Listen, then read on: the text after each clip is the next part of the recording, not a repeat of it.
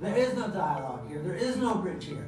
There's racism violence, and there's the right of people to be free and fight for their freedom. When the people of Gaza march, and have been marching for months now, they're not marching into an international border, which they would have you believe. They're marching against a prison wall, a prison fence.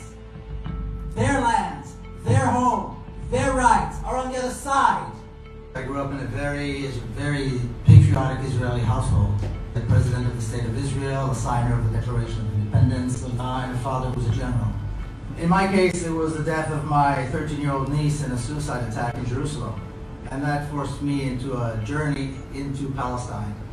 You cannot live the life of a privileged white person, settler colonizer, in a country, take away their rights, deny them their water, their land, and their freedom, and their life, and expect to sit around with no consequences.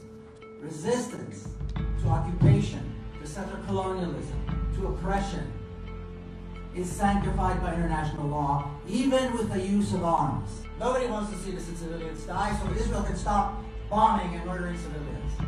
And it's very easy to throw this, this notion of destroying Israel, destroying Israel. What does that mean? It means destroying the privilege.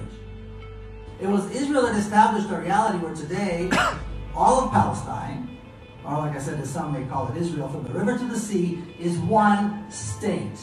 In 1948, the western part of Jerusalem was subjected to a 100% campaign of ethnic cleansing. Not a single Palestinian, not a single Palestinian family was allowed to remain. Not one. Now, to say that there is any sense of coexistence in Jerusalem, which is one of the most racist cities in the world. I grew up in Jerusalem. I went to school in Jerusalem. We never saw a Palestinian. We never met a Palestinian. Open the gates, free Palestine, allow the refugees to return to their homes, and everybody can live together in peace. But you don't want that. Zionists are racist, and that is exactly what I said when we started here.